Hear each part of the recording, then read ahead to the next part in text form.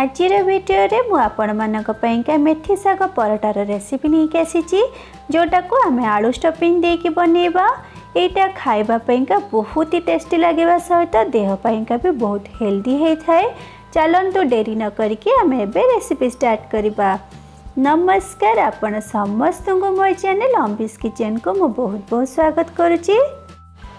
ମେଥି ଶାଗକୁ ଆମେ ଏଇଠି ଭଲ ଭାବରେ ଧୋଇକି ତାକୁ ଏମିତି ଛୋଟ ଛୋଟ କରିକି କାଟିକି ନେଇଯିବା ମୁଁ ଏଇଠି ଦୁଇ କପ୍ର ଅଟା ନେଇଛି ସେଥିରେ ଆମେ ଗୋଟେ କପ୍ ବେସନ ୟୁଜ୍ କରିବା ଆପଣ ଚାହିଁଲେ ବେସନର କ୍ୱାଣ୍ଟିଟି କମ୍ ବି କରିପାରନ୍ତି ସେଥିରେ ଆମେ କାଟିକି ରଖିଥିବା ମେଥି ଶାଗରୁ ଅଳ୍ପ ପକାଇବା ଅଳ୍ପ ଲୁଣ ପକାଇବା ତାକୁ ଆଗ ଏମିତି ଖାଲିରେ ମିକ୍ସ କରିଦେବା କିଛି ସମୟ ୟାକୁ ମିକ୍ସ କରିକି ଏମିତି ଛାଡ଼ିଦେବା ସେଥିରୁ ପାଣି ଯେଉଁ ବାହାରିଥିବ ତାପରେ ଆମେ ସେଥିରେ ଅଳ୍ପ ଅଳ୍ପ ପାଣି ଦେଇକି ଗୋଟେ ସଫ୍ଟର ଡୋ ବନେଇଦେବା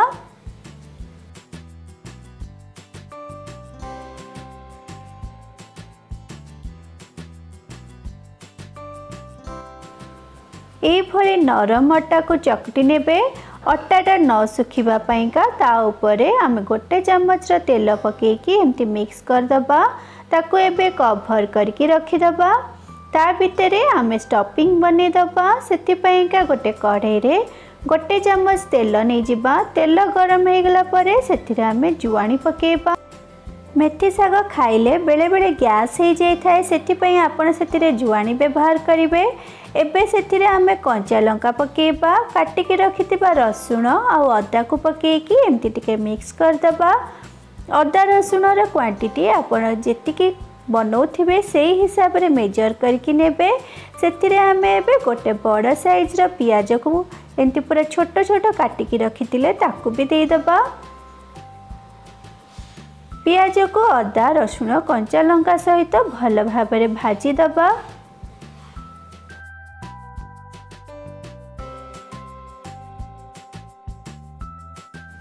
ଦେଖନ୍ତୁ ପିଆଜଟା କଲର୍ ଚେଞ୍ଜ ହୋଇଗଲାଣି ଏବେ ସେଥିରେ ଆମେ କାଟିକି ରଖିଥିବା ମେଥି ଶାଗକୁ ପକାଇଦେବା ମେଥି ଶାଗ ପକାଇ ସାରିକି ଗ୍ୟାସ୍ର ଫ୍ଲେମ୍କୁ ହାଇ କରିକି ଦୁଇରୁ ତିନି ମିନିଟ୍ ପର୍ଯ୍ୟନ୍ତ ଏମିତି ହାଇ ଫ୍ଲେମ୍ରେ ଭାଜିବା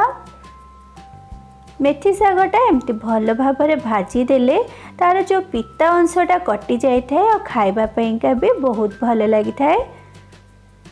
ସେଥିରେ ଆମେ ଏବେ ଅଳ୍ପ ଲୁଣ ପକାଇବା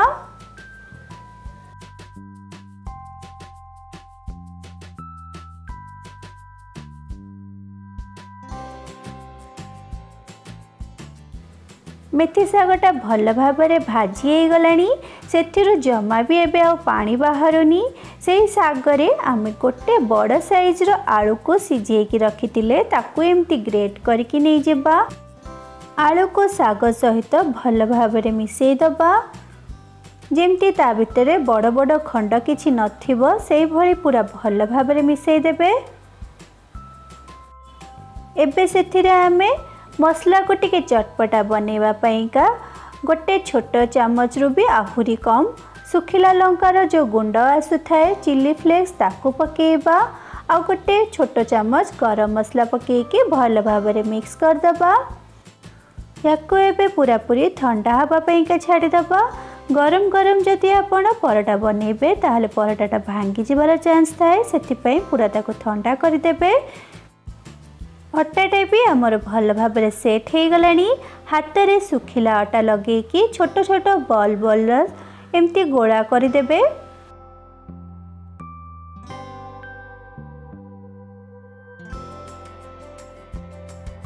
ଶୁଖିଲା ଅଟା ଲଗେଇ ସାରିଲା ପରେ ତାକୁ ଗୋଟେ କଟୋରୀର ସେପ୍ ବନେଇଦେବା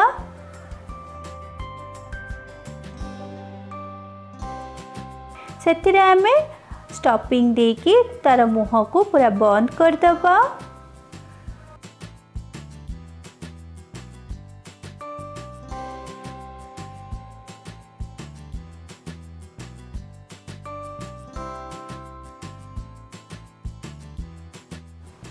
आउ थे सुखिला अटा लगे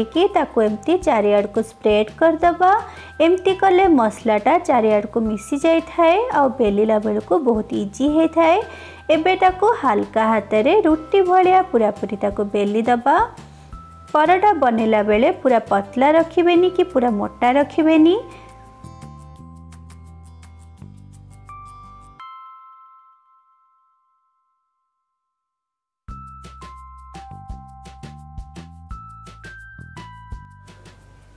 ଏଇଭଳି ପରଟାକୁ ବେଲି ନେବା ଏତିକି ମୋଟା ରଖିବେ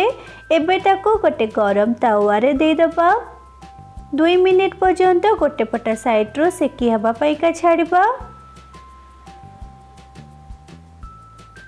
ଦୁଇ ମିନିଟ୍ ପରେ ତାକୁ ଆମେ ଆରପଟ ସାଇଡ଼୍କୁ ଓଲଟେଇ ଦେବା ପରଟା ସେକିଲା ବେଳେ ଗ୍ୟାସ୍ର ଫ୍ଲେମ୍କୁ ମିଡ଼ିୟମ୍ରେ ରଖିଥିବେ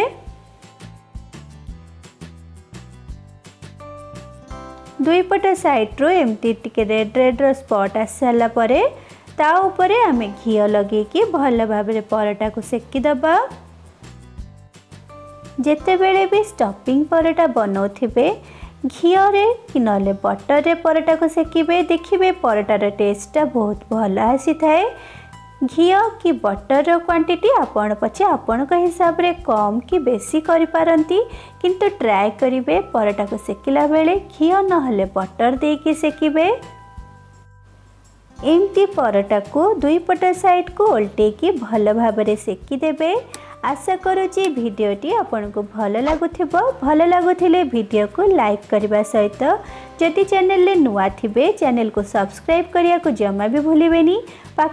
बेल आइकन को क्लिक कले मोर आगामी भिडियो नोटिफिकेसन मिलब पि देखाहो आपण सहित गोटे नेक्स्ट रेसिपि सहित रहिल नमस्कार बाय बाय